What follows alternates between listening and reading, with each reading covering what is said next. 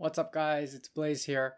Before we get started with this video, I just want to say that the audio is a little bit iffy and so you're going to get a few audio artifacts and it's going to be a little bit messy throughout the video. Um, it hasn't affected the whole thing, but I have a feeling that because I recorded both this video and the next one that's coming up in the same day with the same audio settings, it might have a bit of an impact, but I'll see what's going to happen when it comes to editing them. So yeah, ju- I just want to make sure that you guys know that uh, there is going to be, there are going to be a few audio issues in this video, um, but please do uh, learn from it. I hope that you guys do learn from it, and hopefully, if not in the next video, then the one after that, where we go into a completely new section, we, I will be able to fix that audio issue there. So thank you very much, guys. I hope to see you in the next one. Bye bye for now. What's up, guys? It's Blaze from Funbox here, and let's continue on with our attack menu and targeting system for our turn based RPG combat. We're actually almost finished, so uh, all right, so in this video, what we're going to focus on is maybe I can get the first half hopefully in 15 minutes ish um, of the manager code. So in the video before, what we did was we added a new variable. And in the video before that, if you guys haven't seen it, we added these three new events. So what I'm going to do first is I'll open these up, I'll maximize them, and drag them over into the manager window. So if you guys didn't know this, you can actually grab a tab, a code tab, and you can combine it with all the other stuff. Now, why it doesn't open up grouped events, have no idea. but uh, that's just something that we'll have to work with. All right, so with the manager, what we're going to do, first thing that we're going to do is we are going to add three new variables in. The first one will be the list of viable targets, and the other two will hold the IDs of our UI layers. So let's do that now. Okay, so let's take a look at what we have here. We have a new list, and we've called this targets. Now the difference between targets, selected targets, and units is that targets here, I've commented it here, is it's a list of potential targets that we can pick from. The units are all of the units that you've spawned into the game. All right. Eventually, the selected targets will also be a list, but we're not going to cover that in this section just yet. We just want to be able to attack one unit at a time. So, units, one, one more time, let me reword that a bit. Units are all of the characters that you spawn into your scene, whereas the targets are only the ones that you can target. So basically, all of the units minus, generally speaking, minus the currently selected character. Okay? All right. We have targeting false. We already covered that in the last video. And then we have these two. these two, I've named them base UI and target UI.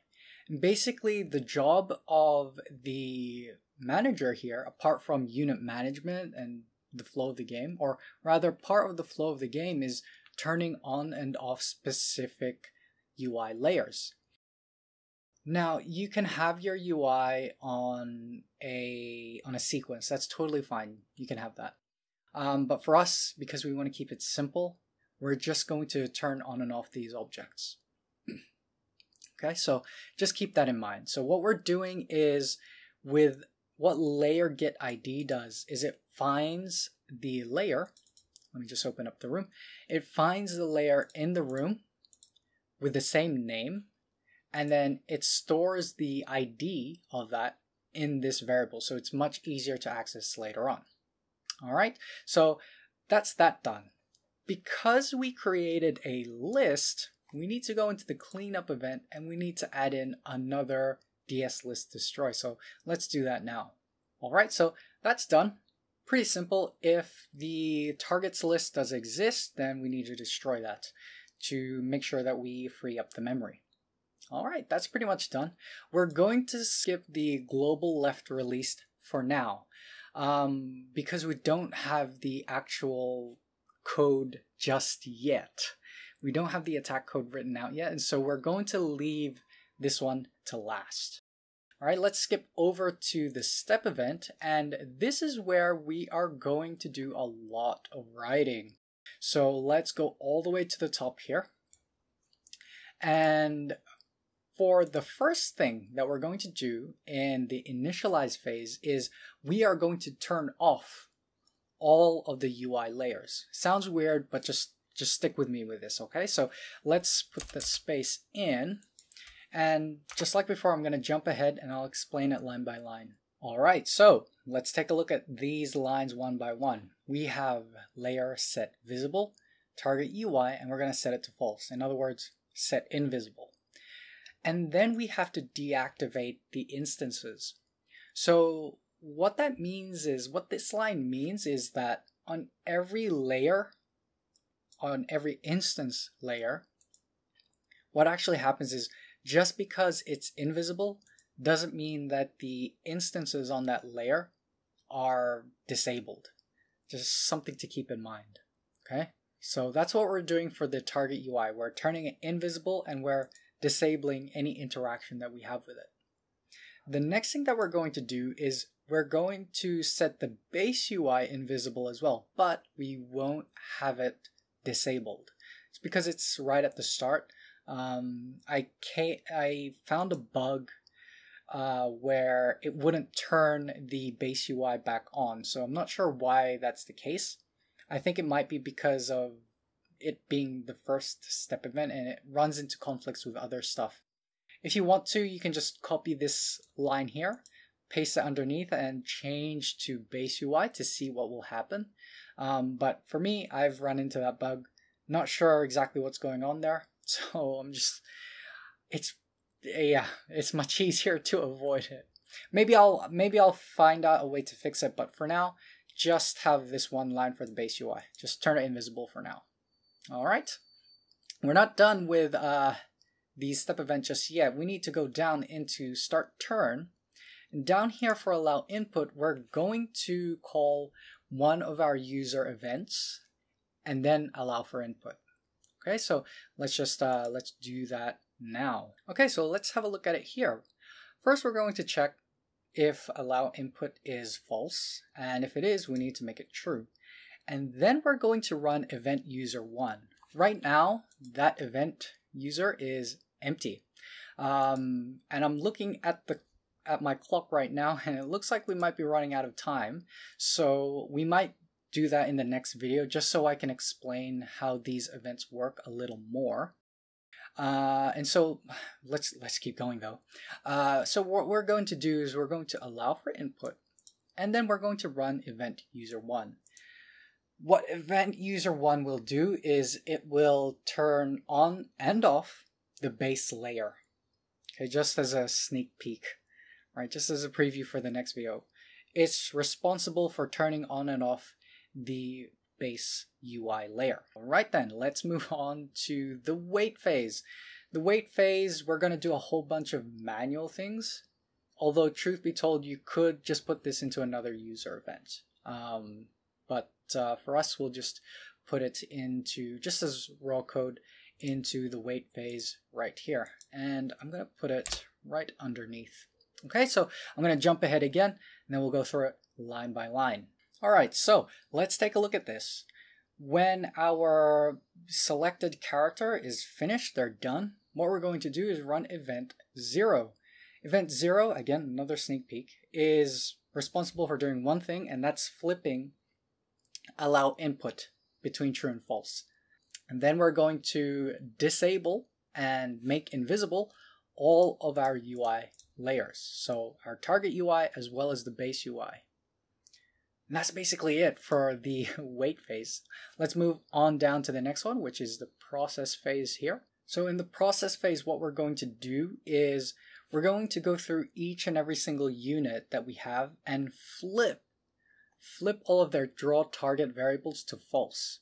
So we're going to run a for loop and then we'll do that from there. Okay, so I didn't mention this before, but we also need to set global targeting to false here.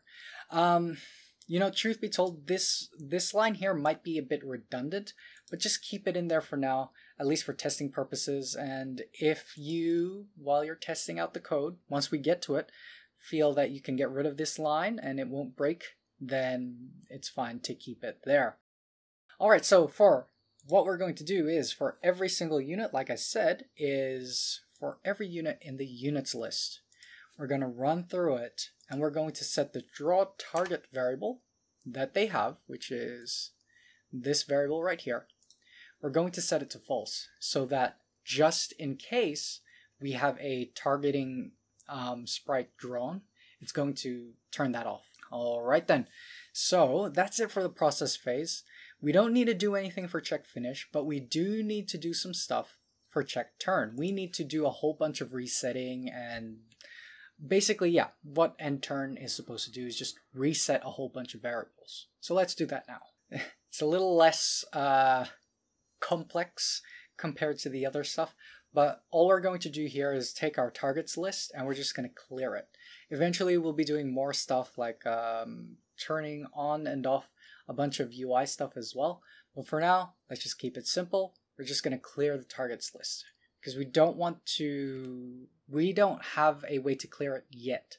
So strictly speaking, at the end of the unit turn would be maybe the best time. Maybe it should be in process, but what I've found is that it's it works the smoothest, not the fastest, but the smoothest in end turn. Okay, so just keep that there for now. You can always play around with your version, you know, see what works, see what doesn't. Uh, but for me, this is what works uh, the smoothest. All right, so that's it for the step event. We can save that out. And I think I'll leave the video here because I the next the next step would be to fill in the user events. So user event 0, 1, and 2. And then and you know what? Doesn't matter. We'll do that now because then at least we'll be done with the manager completely. So user event 0. What does it do? Like I said before, it uh, it just flips the allow input um, variable from false to true. So really it's just one line actually. So we can get rid of that and we can just write the one line. Okay, so if you've never if you've never seen a boolean, you can use this for other things, but usually you'll see it for booleans. Um, is if you see your boolean variable equals not the boolean, you see that sort of thing, it basically means it's a shorthand way of saying if it is true, set it to false, and if it's false, set it to true, right? We can compress that entire if else statement to just one line here. Now, you might think that why can't we just put this into the step event where we where we would need um, allow input? Uh, that's that's possible. You can do that. Um, but just in case you have other objects and other things in your game that requires this particular line of code, it's better to have it in an event rather than calling it straight out. Okay, so just just keep that in mind for why we have an entire event dedicated to just one line of code. Let's move on to user event one. Now, like I said, the user event one is designed to be the the controller for oops, the controller for the base UI layer. So let's get rid of this and I'll put the code in and we'll go through it one by one. What we're going to do is first we're going to check if the base UI is visible. And if it is, we're going to make it invisible. Otherwise, if the base UI is invisible, we're then going to make it visible. All right, so that's all that this uh, event 1 does.